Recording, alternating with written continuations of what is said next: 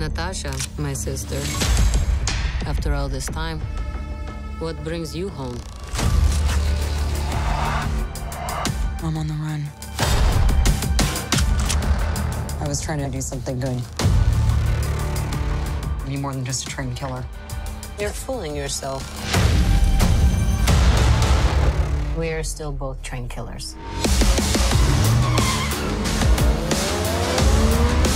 We have unfinished business. Who's we?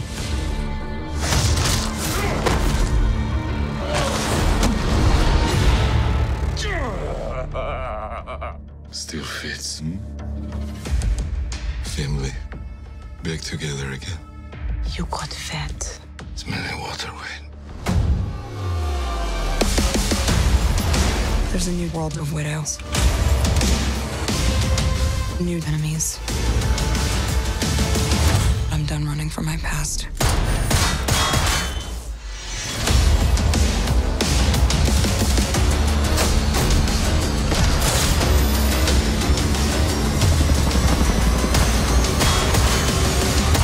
Who the hell is that guy?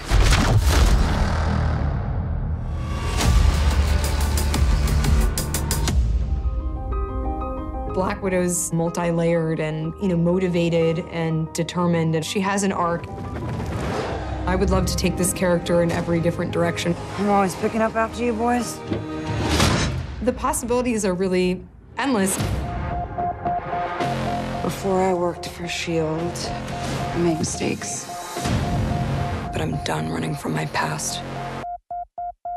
Very few actors can say that they've worked on a character for 10 years and then have this chance to delve deep into this person. We have to go back to where it all started.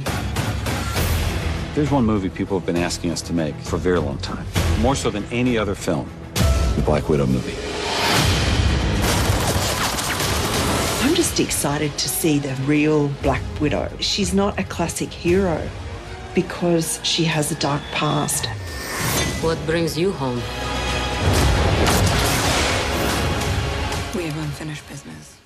Welcome back, everyone. It's Charlie. This is going to be my brand new Black Widow trailer video. There's a whole bunch of new footage. We get a much better look at Taskmaster versus Black Widow, so we'll break it all down. If you're new to the channel, be sure to subscribe to get all the Easter egg videos. We're doing a movie ticket giveaway. All you have to do to enter is be a subscriber and leave all your predictions about the Black Widow movie. So this footage is mostly focusing on Black Widow's family, her going home, quote unquote, to Budapest. There's this theme of her two different families. Like she talks about her new family, the Avengers, that she got later after she joined S.H.I.E.L.D. Most of the events of this movie, because it's a flashback, will be about the family that she got when she was part of the Red Room, Black Widow program. They jump all over the timeline, but I think that most of you have probably got a sense for where she is based on the different costumes that she wears. Like the very classic looking comic booky Black Widow uniform with the gold gauntlets seems like it's from very early in the timeline before she joined S.H.I.E.L.D. Then all the scenes with them in the white uniforms is from later when they go to destroy the Red Room program in Siberia here during the big third act battle. So if you're ever confused about where she is in the timeline and when certain scenes are taking place, what year, just think about the costumes that she's wearing during them.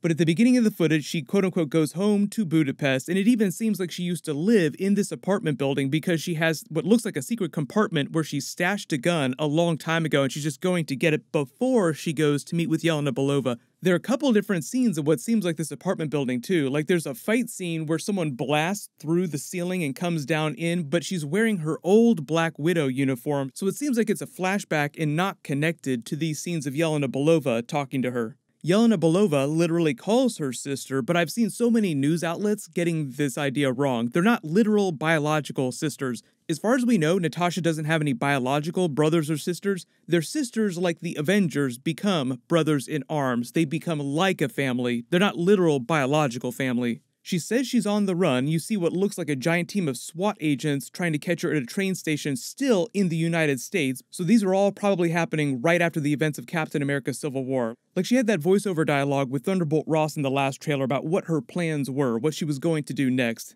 They show you that she's also on the run when she's back in Budapest from the brand new Black Widows. Like later in the trailer, she talks about there being a new generation of Black Widows when they show all these scenes of them training. So if it wasn't clear, this chick on the roof with the sniper rifle is just one of many brand new Black Widows. There's some scenes later in the trailer that make it seem like she also tried to destroy the Black Widow program in the flashbacks, so I'll explain that in a second too. My guess is, is that's probably why the Red Room wants her dead and they're sending all these Black Widows after her in present day, because she tried to do something in the past to get rid of them. She tells Yelena Belova that she was trying to do something good, be more than just a trained killer. She's talking about how she got herself into trouble during Captain America Civil War, and right now her mission in Budapest and Russia is a continuation of that idea to take down the Red Room and end the Black Widow program permanently. There's also this idea that Yelena Belova is kind of like a little sister to her, a surrogate little sister. So through her actions, she's trying to teach her that she can also be more than that, be more than a trained killer. Yelena Belova is being a little more cynical about it. No, you're wrong. We're just trained killers. That's all we are. I think part of her arc during the film is going to be realizing that no, I can be good too. In eventually early prediction, after the events of Avengers Endgame, she will take the mantle of Black Widow and carry on her legacy in a slightly different way. She won't be the same type of Black Widow that Natasha was.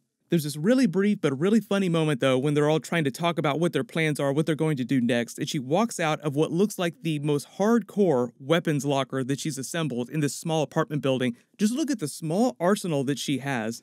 They do a bunch of jump cuts, but like I said, I think this is a flashback and it might wind up being Hawkeye versus Black Widow in Budapest because they keep referencing Budapest. You remember Budapest very differently during the course of the Avengers movie. I think at some point there's going to be a Hawkeye cameo, and it'll be a reference to what actually happened when he and her were together in Budapest, sometime way before the events of Marvel Phase 1. So obviously, there's all the stuff happening in present day with Yelena Belova in Budapest, but I think that we'll also see another flashback before Marvel Phase 1, and it's connected to her wearing this classic uniform with the gold gauntlets. She references her family having unfinished business. Then you see a bunch of new scenes of Red Guardian wrecking some of the other Russian prisoners in this Siberian prison.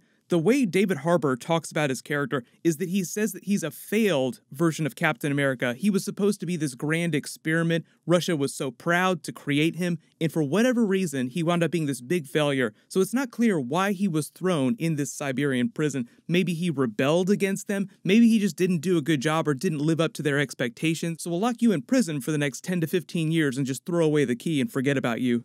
David Harbour also revealed that the Red Guardian character was kind of like a surrogate father to Natasha growing up, so I guess that makes Rachel Weisz's character her surrogate mother. You also see some new scenes of her in one of the white Black Widow uniforms in what seems like the big third act battle when they go to the Red Room program to blow it up later.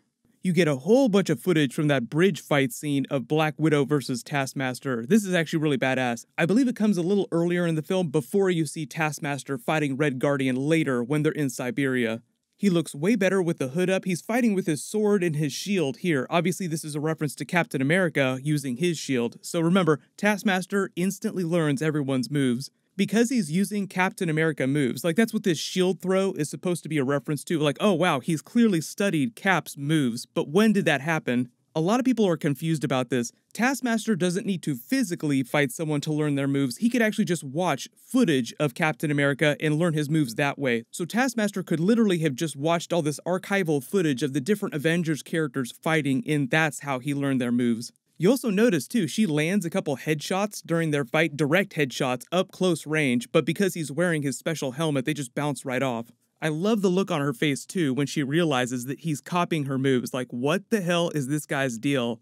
A lot of people still wondering who the secret identity of Taskmaster is. I seriously think that it's this guy here. They brought him up on stage at Comic Con, said he was a main character, but refused to say what the name of his character he was playing was going to be. They're just calling him quote unquote Mason. But I think that's going to be a fake name, and they'll have some way of explaining Taskmaster MCU's backstory and weaving it in with the history of the Black Widow program so that he has some sort of history with them. But I am hoping that they leave Taskmaster alive at the end of the movie so that he could potentially join some sort of Thunderbolt Thunderbolts project or even a Dark Avengers team in the future. All these scenes of her flying through this giant explosion mid-air while being chased by these other people all seems like it's happening in flashbacks because she's still wearing the old Black Widow costume with the gold gauntlets. Then during that behind the scenes clip, Scarlett Johansson talks about taking the character in a bunch of different directions going forward. That doesn't mean that she's coming back to life after Avengers Endgame. That just means that there's potential for them to do more Black Widow sequels, but they'd also be set during the past, during some other part of her timeline.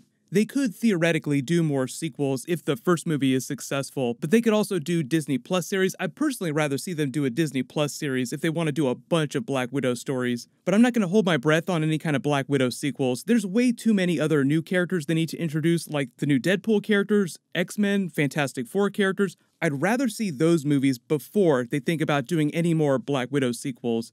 But what'll happen is, is I have a bunch more Morbius Spider-Man videos coming later this week. There's a bunch more Marvel stuff. The finale of Crisis on Infinite Earths is also happening tonight, so I'll be doing episode videos for that.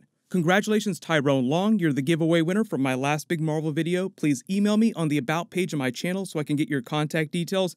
Everyone, click here for the brand new Morbius trailer with the Spider Man scene and that very special cameo, and click here for my new Avengers Iron Man Marvel Phase 4 announcement video. Thank you so much for watching. Everybody stay awesome. I'll see you guys tonight.